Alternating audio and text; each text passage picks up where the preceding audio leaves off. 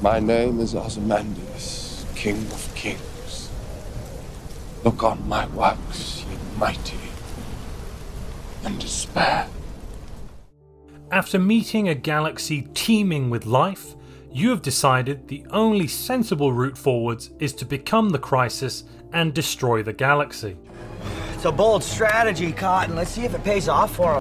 By becoming the Crisis, you unlock three new ship types. That is the menacing ships. In this video, I'm going to look at the design of those ships and talk to you about what I think is the best and why I think that. If you enjoy this video, please destroy that like button. When you become the Crisis, the first ship you'll be unlocking is the Menacing Corvette. You'll unlock that at Crisis Level 2. The Menacing Corvette has two sections available, that is the Brawler and the Interceptor. The Interceptor is to all intents and purposes the same as a gunship Corvette so I really won't bother showing off a design for that one. You can check out uh, my ship design video for Corvettes. However, the Brawler design, as you can see here, features something quite strange for a Corvette. It features a medium slot. So I'd recommend in that medium slot you'd put something like a plasma cannon and pair that off with an auto cannon. That way you're going to be doing out lots of hull damage from your medium plasma cannon, as well as quite a bit of shield damage with this auto cannon here. Now, of course, as ever, you can use an advanced afterburner as well as regular thrusters to get your evasion all the way up to 90%. That is the max level of evasion. There is no way of getting higher. So from that point of view, you might as well go for the Picket combat computer to increase your tracking. This design is going to find that it is very, very good at defeating destroyers. There's also something we should mention right out of the gate here, and that is the cost. The cost of your menacing ships will never go up. For instance, a Corvette is 300 base, mine is 270 because I have unlocked Master Shipwrights, but no matter what modules I include or take away, it will always be 270. As you can see here, this is an empty Corvette with no upgrades and no modules, and it's still 270. That means you should fit your designs filled up to the brim with as many modules for as much cost as you can get on there. That also means that my regular adage that you do not want to have armor will be completely thrown out of the window. You should always use armor once you run out of power on your menacing ships because it doesn't cost anything. It is the same cost as hull plating, and your repeatables are going to stack with that armor. And even if they don't, it is at the level 5 going to provide you more hit points than the regular crystal hull plating. The main issue you've got with menacing corvettes is they don't have access to a missile slot.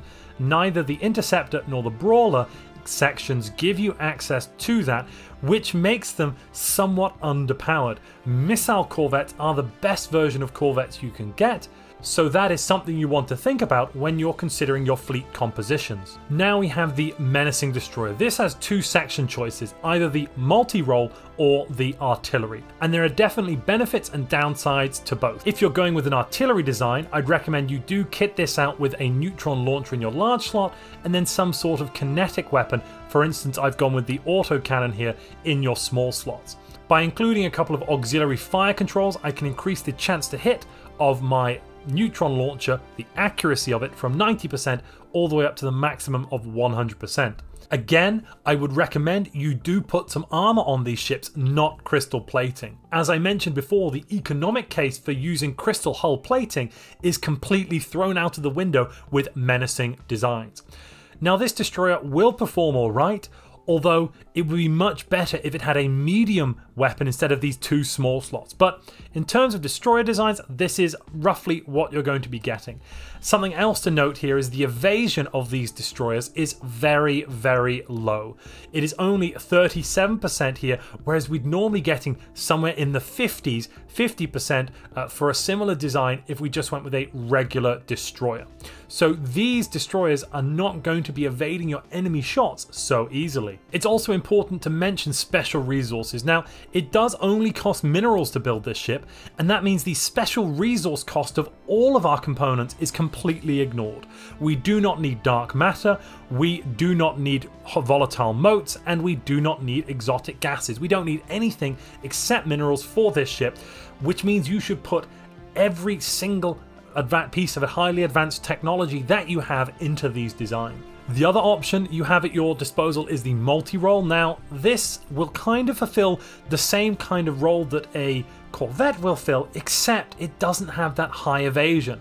So you will get missiles here, which is somewhat useful, although you haven't got high evasion, I really would not recommend going with a multi-role design when you're using menacing Corvettes. The damage output you're going to be getting from your large slot on the artillery destroyers is so much higher and more valuable that that is the design you want to be running if you're choosing a menacing destroyer. Menacing destroyers are unlocked at level 3. It's also important to note at level 3, menacing corvettes get a plus 50% disengage chance, which means that they will disengage with the same likelihood as a destroyer which does mean that those menacing corvettes, you can kind of treat them a lot like destroyers in terms of their ability to evade enemy shots. Though their hull, that hull points are quite a bit lower than destroyers, so even though they are getting a 50% bonus, it's not making them on the same level of disengage as destroyers, though it does make them much better. At Crisis level 4, you'll unlock the Menacing Cruiser, as well as a 50% weapons damage from your ships, and you'll also get increased tracking on your destroyers. That actually means that your destroyer designs will be some of the best designs around to deal with enemy corvettes. Destroyers will have, if you equip them with the neutron launchers, you will have tracking of somewhere in the region of 60 to 70% with neutron launchers, which is wild. The final menacing class is the menacing cruiser. We only get one section possible with this, and here it is. One large slot, two medium slots, and two small slots. This does mean that a menacing cruiser, in a lot of ways, is a slightly inferior ship to a regular cruiser because you wouldn't need to take those two small slots, you could have another large slot instead. On the other hand, the cost of your menacing cruisers is not something to snuff at. You're only going to be paying 810 for them, and they're going to have higher hull points than the destroyers, quite a bit lower evasion, but they will have a, an increased damage output due to having extra medium slots. The only difference here really between the destroyer design and this design, more shields, more armor, and more one more medium slot. Overall though, I would say that is not worth the extra cost in minerals. The artillery destroyer design that I showed off earlier is going to form the backbone of any crisis fleet. It is, in my opinion, the best Crisis design around because it is a complete all-rounder. It has massive tracking, it has a neutron launcher, the same number of neutron launchers as your menacing cruisers. It doesn't have high evasion, but it can do everything in terms of its damage output and it can hit any other type of design. Finally, there are the Star Eaters. Now, when you first get a Star Eater, when you finish the Crisis uh, path and you unlock level 5 Menace, you will get all of the technology that you see here on the screen, meaning you'll get level 5 lasers, level 3 strike craft, level 3 flak and guardian point defense, dark matter reactors, jump drives, level 4 thrusters, level 4 sensors, advanced combat computers, level 5 armor, level 5 shields, regenerative hull tissue, and shield capacitors. It is very important to note that this design has a massive power deficit, so you should never upgrade or attempt to change your Star Eater designs. If you do that, you will find that you'll actually have a worse class of ship because you're suddenly having to obey the power limitations of this ship. For this reason, you should simply be happy with the Star Eater you get and go and use it to destroy the galaxy. If you'd like to know how to design your ships to defeat the non-player crisis, click the video on screen now.